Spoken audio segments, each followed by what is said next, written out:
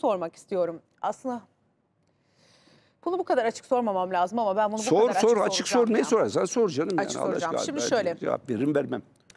Ee, hürriyetteki patron değişikliğinden sonra aslında e, herkes akla şöyle şeyler gelmişti. Ertuğrul Özkök ve Ahmet Hakan gider. Açık soruyorum. Fakat e, günün sonunda çok başka bir durum cereyan etti. Ahmet Hakan Hürriyet Gazetesi Genel Yayın Yönetmeni oldu. Bugün Ertuğrul Özkök bu kurumdan ayrıldı.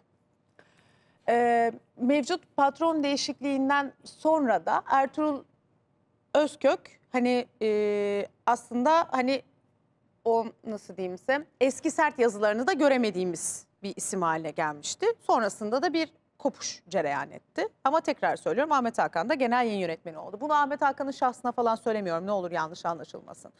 Fakat hani buradaki e, Oğuzhan'ın az önce söylediği idare etmek durumu. Bu sefer siz idare edemediniz mi? Ahmet Hakan mı idare etti? Ne oldu yani? Hani çünkü sürekli şöyle bir suçlama geliyor. İşte e, gazetecilerle ilgili, geleneksel medya gazetecileriyle ilgili. Ben onun ne söyleyeceğini asla açıkçası az çok tahmin edebiliyorum. Bir gün Oğuzhan bana da kızmıştı bir ödül töreninde çünkü. Bana da böyle e, atarlı birkaç cümlesi olmuştu. O dönem ben Kanal D'de yöneticilik yapıyordum. O yüzden tahmin edebiliyorum e, neler söyleyeceğini. Hani her devrin adamı olmak gazetecilerle alakalı işte her yönetimle arasının iyi olması gibi şeyler hani söylenir durur. Hani bunlarla ilgili düşünceleriniz ne? Çok açık, çok açık söyleyeyim. Ben siyasetçi değilim. Ben militan değilim. Ben bir gazeteyi yönetiyorum. Elbette bir yönetici olarak her devrin adamı olup her devirde siyasilerle ilişkilerimi düzgün götürmek ve gazetemi dalgalı denizlerde, fırtınalarda bir yerden bir yere götürmek. Ben ben bir devrimci üzerinde orak çekiç işareti olan bir gazeteyi yönetmedim. Popüler bir gazete yönettim. Bu popüler gazetenin müşterileri arasında, okurları arasında pardon, o da vardı, bu da vardı, şu da vardı, o da vardı, tiplisi de vardı, komünisti de vardı, sağcısı da vardı, muhafazakarı da vardı. Dolayısıyla ben zaten yaptığım işin doğası gereği her dönemin insanı olmak zorundayım. Her dönemde çıkarıyorum çünkü bu gazeteyi. Ama Oğuzhan için böyle bir şey yok. Oğuzhan'ın kendi medyası o taraf da olabilir, militan da olabilir. Kafasında orak çekişli şapkayla da çıkabilir oraya. Tamam mı? Bunun böyle bir şeyi yok. Ama benim yönettiğim gazete buydu. İkincisi Ahmet Hakan ben. Ne Ahmet Hakan'ın orada kalması Ahmet Hakan'ı küçültür veya büyültür. Ne de benim ayrılmam beni küçültür veya büyültür. Neticede bu bir mesleki iştir. Gazetenin sahipleri onunla devam etmek istemiştir. Benle de sıkışmak istemiştir. Bu kadar basit bir şey yani. Önemsediğim bir şey falan da değil. Ama geleneksel medya dediğimiz hele hele merkezi bir medya büyük geniş kitleye seslenen bir medyayı yönetiyorsanız gerçekçi olmak zorundasınız. Ben bir şey söyleyeyim size. Ben genç bir sosyalist olarak hayata atıldım. Benim eşim hala sosyalist. Evde eşimle bizim her dakika şeyimiz var. Instagram paylaşımına bakarsanız eşimin nasıl bir düşünceye sahip olduğunu o kendi doğrultusuna gidiyor şeyinde. Benim de var.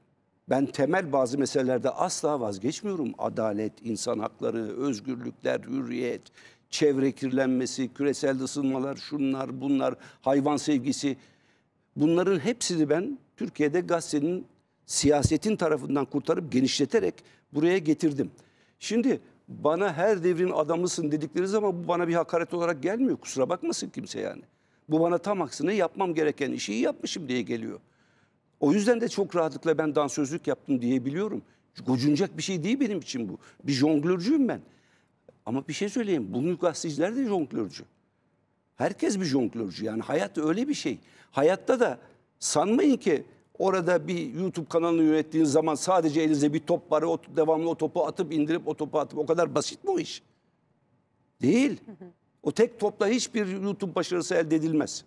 Bir sürü topu oynamak zorundasınız aynı anda. O yüzden bazı kavramları kullanırken çok hoş geliyor insana. Mesela yüzleşme kavramı. Çok seviyor herkes. Yüzleşelim. Fakat herkes yüzleşelim derken sadece öbürleri yüzleşsin. Zaten ben dürüstüm diye bakıyor. Ya kendisinde bir yüzleşecek hiçbir şey görmüyor. Anladınız mı? Hesaplaş, hesap versinler. E tamam da ben bu toplumun geçmişine baktığım zaman hesap verecek çok insan görüyorum yani. Bunların içerisinde hesap ver dediğiniz zaman, hesaplaşma dediğiniz zaman o herkesin gireceği şeyler var. İnsan ilişkilerimizde de öyle. Hep biz haklı değiliz yani. Hep biz haklı değiliz. O bakımdan bazı kavramları kullanırken daha insaflı olmak lazım. Mesela hain kelimesi. Çok seviyoruz değil mi? Hain kelimesini Evet. çok seviyoruz. Hemen de söylüyoruz. Halbuki hain kadar hain bir kelime yoktur. Bugün siz birine hain dersiniz, yarın o hain etiketi alnınıza yapıştırabilirler tamam mı? Ee, şey de böyle yani her devrin adamı olmak. Ya zaten hepimiz her devrin adamıyız ya. Her devrin adamı olmak zorundayız. Bundan, buna değişim deniyor zaten. Yani bundan 25 yıl önce bizim hayatımızda küresel ısınma diye bir sorun yoktu. Bugün var. Bugün sosyal medya hesaplarını yöneten insanlar var. Bundan 30-40 yıl önce böyle bir şey yoktu. Anladın mı? O bakımdan eee, Bir de şu var, e, şimdi sürekli bir dönemde söylenen işte özellikle e, şimdi kendisini muhalif olarak tanımlayan insanların işte e, hükümete yakın olduğunu düşündükleri gazetecilere yönelik işte simit sat onurlu yaşa istifa et. Şimdi bir de e, şu kısmı var, ben gitsem yerime gelen kim olacak algısı. Şimdi Şimdi bunu bunu bunu ben de ne olur sakın size söylüyormuşum gibi algılamayın. Ben, bana o kadar çok dendi ki o dönemde hani bu Simistat onurlu yaşa istifa et kelimesi yani bu cümleyi çok fazla görmüş. Hani o iki sene içerisinde hani sürekli her gün buna maruz kalmış bir insan olarak soruyorum. Bunu şahsınıza sormuyorum. Ne olur yanlış anlaşılma olmasın. Ve sadece Yo, siz sor, bana da sor, sadece bana da ben sor. ve siz de değilsiniz Ertuğrul Bey. Birçok insan hani şu anda geleneksel medyada hani belli bir koltukta oturan birçok insana da her gün böyle mesajlar geliyor. Fakat bir de işin şu kısmı var. Bir de muhalif medya dediğimiz medyaya da baktığımız zaman muhalefet etmek hani o yani muhalif medyanın konumlandığı noktayı da nasıl değerlendirdiğinizi merak ediyorum ben sizin. Çünkü bir de o tarafta sürekli kendisini haklı görme algısıyla orada da bambaşka bir durum cereyan ediyor aslında. Yani bugün geleneksel medyaya baktığım zaman hani çoğunlukla bütün kanalları kapsayarak söylemek istemiyorum bunu.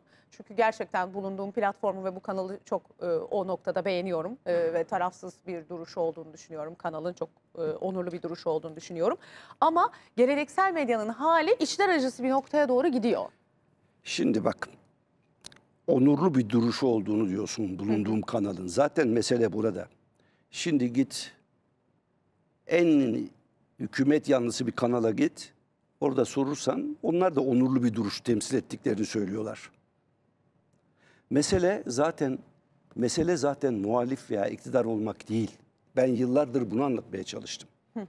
Ben hep ben gazetecilik kariyerimi hiç bunu da bunu da yani gocunmadan söylüyorum. İktidara yakın bir gazeteci olarak yaptım. Turgut Özal'a, Süleyman Demirel'e şunu bunu falan. Ama benim yönettiğim gazetede onun tam aksine düşünceyi savunan insanlar da vardı. Yani ben Özal'ın görüşlerini yakın bir insandım ama Emin Çöreşan da yazıyordu orada. Şimdi herkes zaten kendi bulunduğu yeri onurlu olarak görüyor, vatansever olarak görüyor.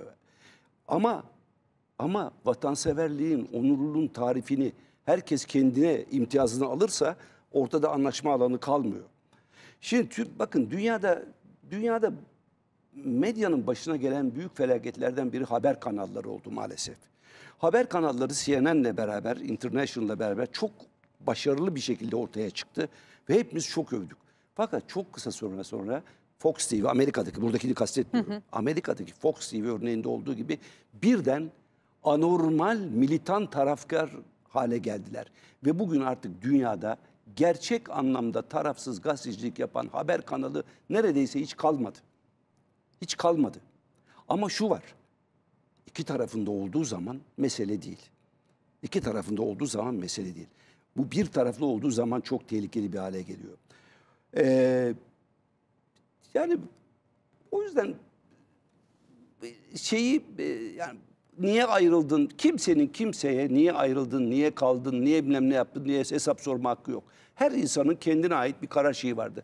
Beni hürriyetten çıkarmasalardı ben hürriyetten ayrılmazdım. Açık açık söyleyeyim burada yani öyle bir benim çıkıp böyle bunun üzerinden kahramanlık yapacak bir anlayışım yok benim.